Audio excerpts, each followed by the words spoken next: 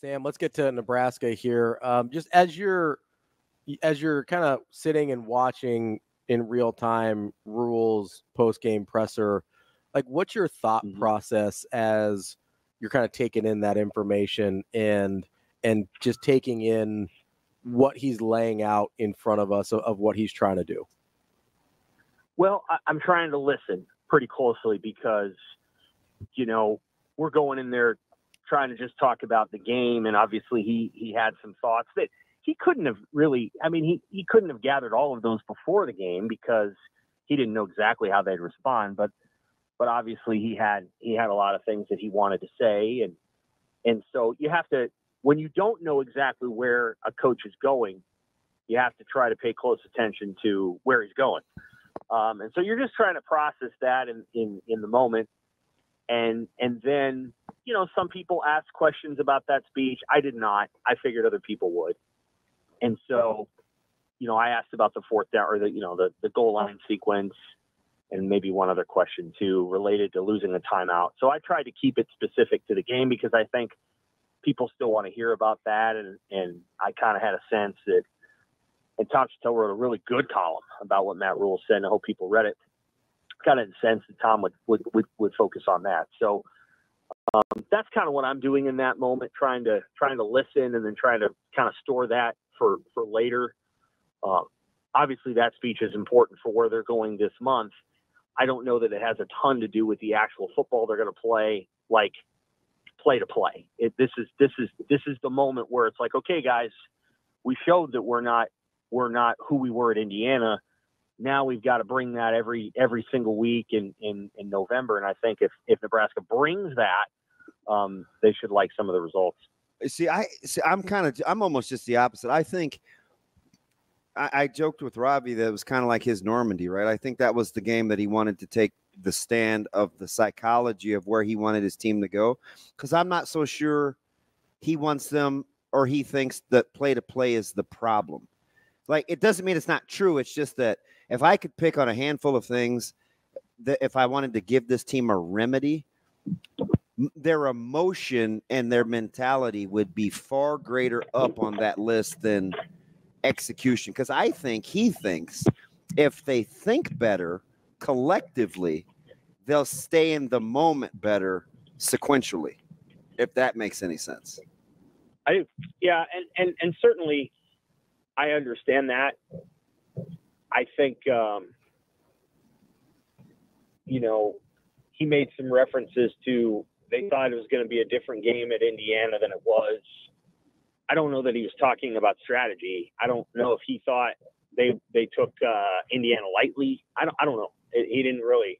But then he said if we're going to act like front runners, which made me think, you know, I, again, what is that a reference to Nebraska thinking it's better than it is.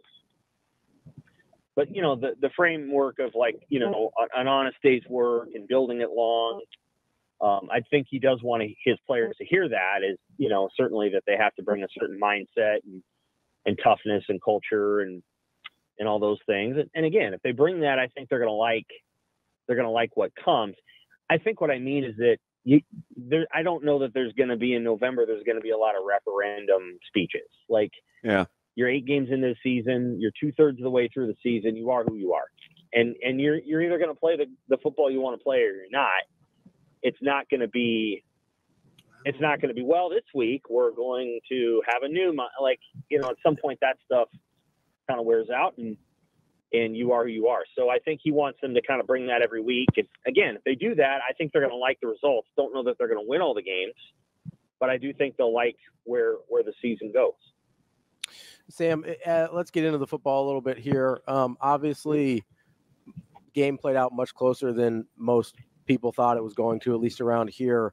But I, mm-hmm. also saw, at least kind of in, in my social media and, and talking to people, it didn't really feel like at any point Nebraska fans actually thought they were going to or could win that game. Were you kind of processing or watching that and, and just waiting for Ohio State to pull away? Or did you get to a point where you thought ah, Nebraska might actually be able to get this one? Yeah, I thought Nebraska had a real chance in the second half. Ohio State yep. So I went in with a couple of things, and the, the first thing I thought is, you know, can Nebraska's receivers win? And in a way, they did. They drew some pass interference penalties. Did they bring their best effort? I thought they did pretty well. I thought Will Howard would throw at least one pick, and he threw one. It's too bad that they didn't get it get in harm's way for a second. I think that might have that might have tipped the game, but but they didn't really get there. They, he, that was the only one he threw in. Well, you're you're a def- usually- you're a defensive holding penalty away early from them really being on the struggle bus, Sam. Yeah, I agree with that. Well, I mean, Um, because that ball was airmailed. That was. wasn't on time. That wasn't that wasn't good either. You know, so I, That's I right. just like, That's wow, he could that's right. he could be off to this hot start and it could yield absolutely nothing. Then you start looking at yourself like, we can't run the ball. What are we doing? Right. And they didn't run the ball and, and their their coaches and players were very complimentary of Nebraska for for calling, you know, run blitzes. It worked. Yeah. And and I think Ohio State got frustrated then. Nebraska did a nice job holding on to the ball. They ran the ball just well enough. They hit, I think, four runs for more than 10 yards. Those help. They hit a couple of throws.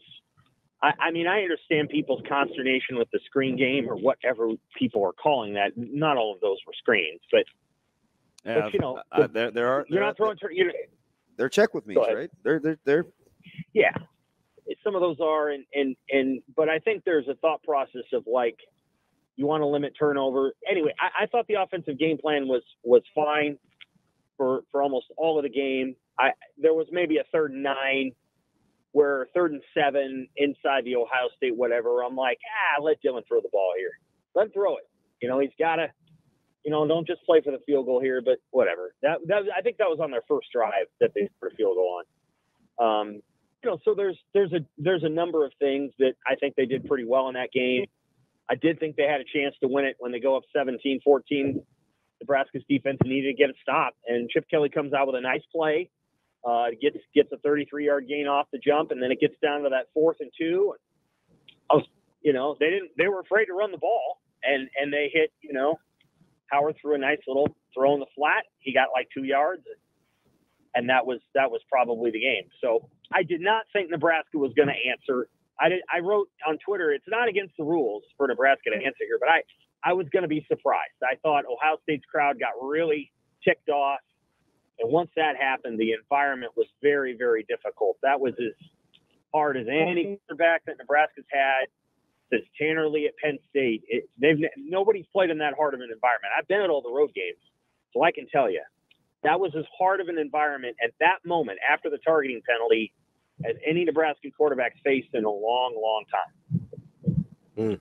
I don't, man, really? I don't know, Sam. Yeah. I don't want to be confrontational. I, I thought they Yeah. sucked, to be honest. Like, that, I Oh, looked I- at, I- the th- end of the game. at that's that end of the south end yeah. zone was not good. They were gone. That was six minutes left. But I get it, right? Because, but I, but, I, and listen, I don't want to be combative because um, we get along well. Uh, I, I think your benchmark for that noise was based on what it had been all day, not that it was of all time. It was just as loud as they Right. had been all day. They weren't in Well, the yeah, they- they weren't in the top 30 of noise, in my opinion, for for Yes. for 55 yeah. minutes. No, they weren't. Not for 55 minutes. That's right. At the very end of the game, at the end, that's very, very hard. And part of, I think, probably what made it harder is it hadn't been that way all day. Yeah, it was sleepy, and so man. when it got, yes, it was it was very quiet. But at the end of the game, Where did everybody go? crowd- Where do you think everybody went? Like, were they were they going to drink or going back to listen to the karaoke guy that did the that's possible. pregame music? Yeah. Like, what That's was go- possible. what? Because it was a late I think- arriving cloud crowd. It was, and I- I think they're, I think the crowd there is hard to please, Oh, and they're, they're the getting, booze. they're getting, I was ask Right. Ryan Day about that. the booze Yeah. were they're hard, incredible. they're hard to please, hard to please, and so they're tired of. I, I think they're tired of Ryan Day. I don't really know why. I mean, I don't know that any other coach was going to come in there other than Nick Saban and win more, but You you know what? You know what I think. tired of him. you know what I think it is. I I, th- Yeah. I I think it's his pragmatic his delivery. He's very um like understated almost. yeah. He, I think they want more sense of urgency from him, but it's not his style. Like I don't know if communication wise he's ever going to be a good fit for them because he's not as I think demonstrative as they want him to. Or like it's charismatic as like an Urban Meyer. You know, I, I just I just think it's a it's a way he disseminates information disconnect because he sure does win. Yeah, I think I think it has something to do with that. You know, I mean, Jim Tressel was pretty boring, but yeah, I don't know. I I think I think that they're mad about the Michigan stuff, losing to that team the way they have uh, a couple of times, and I don't know. It whatever reason they're hard to please, but at the end of the game, that's a really tough crowd. Those five minutes, yes, at the very end, you know. And I remember again oh, as I kind of cataloged the games that Nebraska's had over the years the crowd at the end, that was going to be very hard for Dylan to, to drive into that. They get a false start, and then you know things just don't go well, and, and they lose the game. And you know, I think could be a and that's real, all fine. you know, what I think is could be a really good player that has a lot of room to grow. There's Jaylen Lloyd. Offense, Yep, as Jaylen Lloyd. yeah, yeah. I, I, he, They, he- have, they got to use him more. Yep. He he wins a lot. And the thing that I like, and granted, I do know his personality, he's tough. Like he's highly, highly competitive.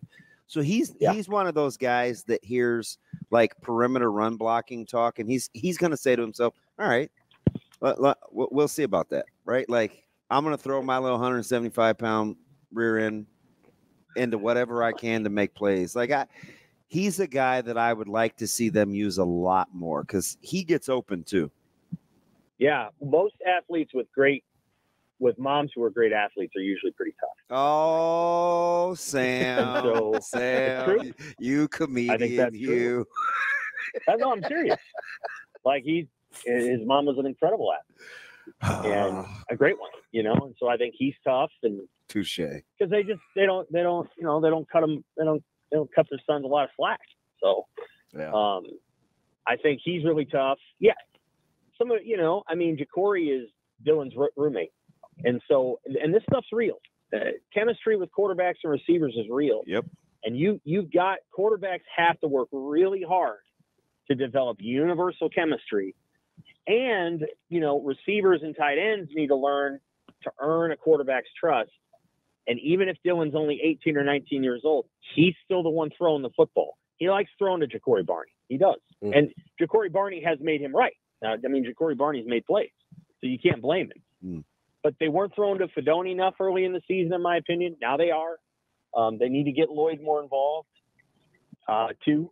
So there, he, you know, Ra- Raiola's got to, got to, got to, um, what do you call it? He, he's got to expand the menu of, of options that he's throwing to, uh, and and he's getting there, you know. But he like, you know, you can tell when he, he likes throwing Neyor a lot, that deep ball. He just he trusts him. Yeah. There's a trust there. I, So- I I I did like the fact that they they took some shots in those three by ones. I was talking about it all broadcast where those are things I don't think that they were doing earlier in the season enough because those guys could win. And Neyor almost had it pay off a couple of times, and Yeah.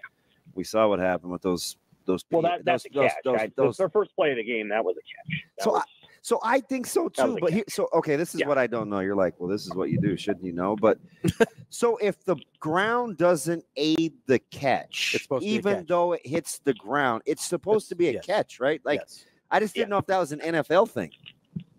it started in the know. Know. NFL. It's it got adopted by college after it got adopted by NFL. But if the ground doesn't aid the catch, it's supposed to be a catch. So then I went to I immediately went to glass that's half full mode, and I'm like, well, shoot. All right, you still found a way to flip the field. You shanked the ball. You fielded a ball you shouldn't. You went three and out, and you're still right here. Like, let's play ball. yeah, yeah. I mean, there's there's uh, there's a lot, and you know, the the two offensive pass interferences were garbage. Uh, the one on Banks was terrible, and he made a great catch, you know, and it- it's it's unfortunate that a couple of those things happened because they just weren't they were bad calls, and so you know they you know they overcame those things. There's, again, there's a lot to like out of that game, a lot to like on both sides of the ball. Thought DeShon Singleton played, you know, his best game of the season or darn near. I just would have Uh, just just a couple of cat and mouse communication things on that back end where they're still growing. Mm-hmm.